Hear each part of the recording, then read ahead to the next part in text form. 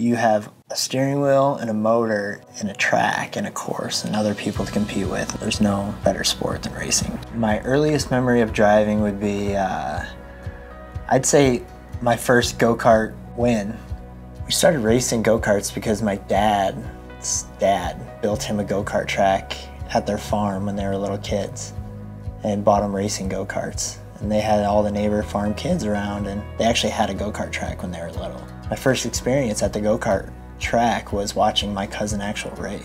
After seeing that one time, it was where's my go kart?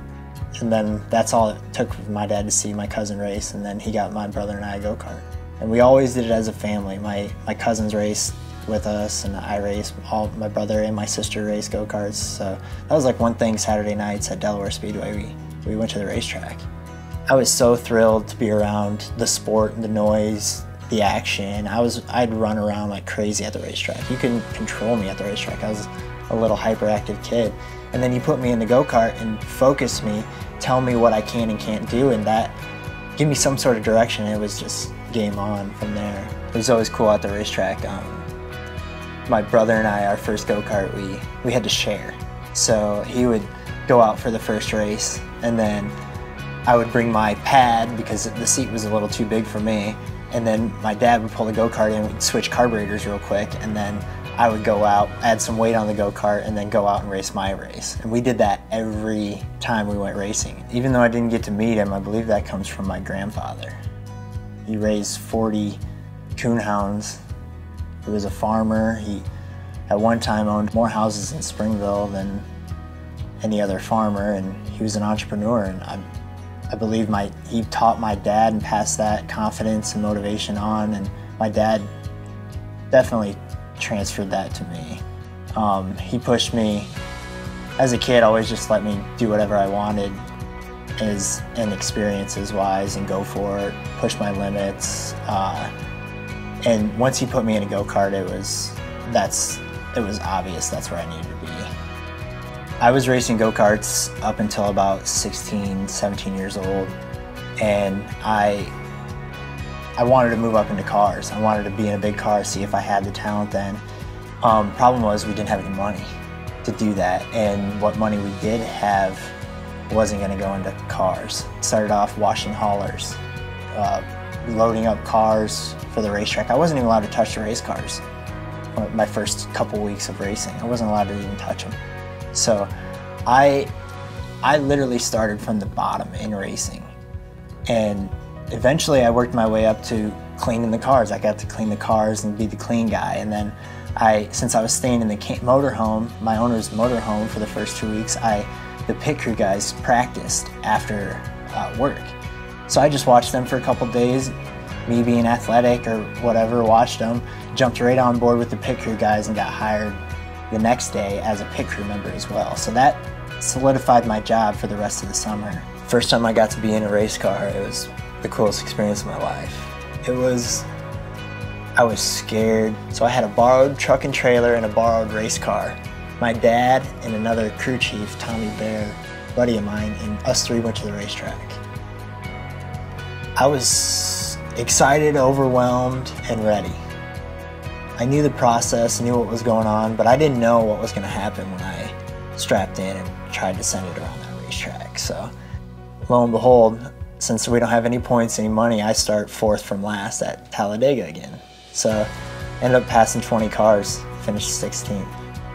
Passing cars in racing is one of the coolest experiences of your life. To know that you're just a little bit better than somebody else is is awesome. It gives you such an adrenaline rush. You don't you can't get it anywhere else, especially going 190 mile an hour.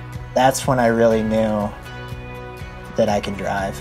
There was no, after that, there was no doubt that that's where I needed to be and belong. When you grow up with an older sibling, two older siblings that are awesome, you have no fear. You have, you can rely on them. You can bounce ideas off them if they're crazy or not. They'll tell you if you're acting stupid or not, or they'll smack you in the head. There's just a lot of things that are beneficial to having awesome older brothers and sisters. My brother was killed in a vehicle truck accident with his best friend.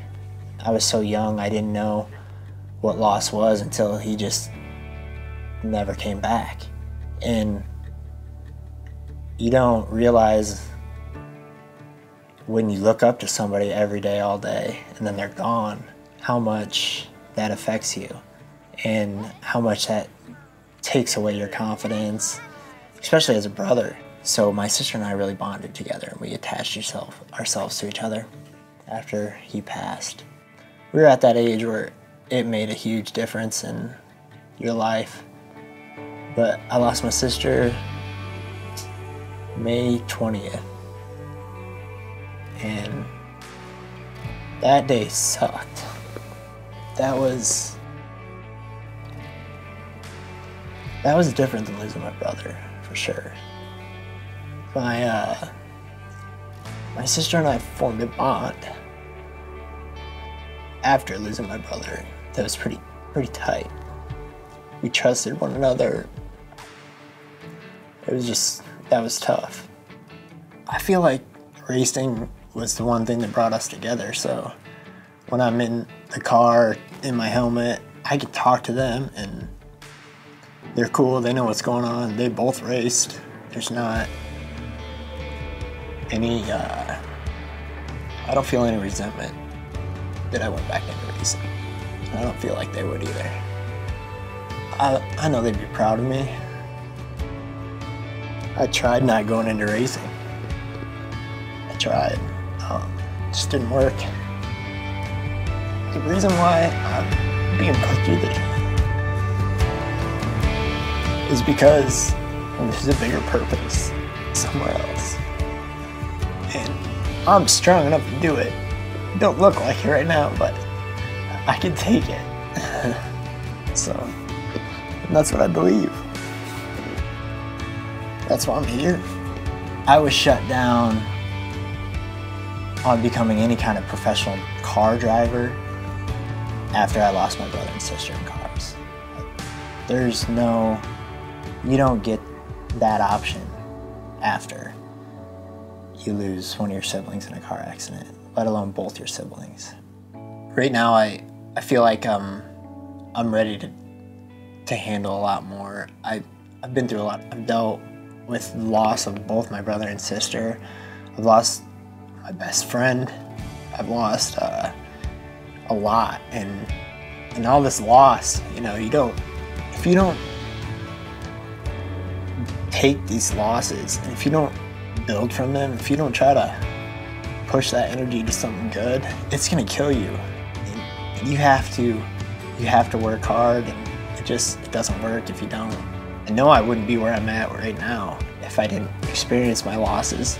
Not saying that I want them or anything like that, but it's made me the person who I am today. I've made so many sacrifices. I've done so much work. I'm not gonna give up. I'm, I'm, I'm at the level where I need funding to go racing. I need a company to back me, to believe in me, to say, this kid has what it takes. He has a proven track record and he's ready to go. And all it take all it's gonna take is one or two companies to believe in me to show them that I can compete and present myself well enough and that I'm worth it. I was meant to be a race car driver.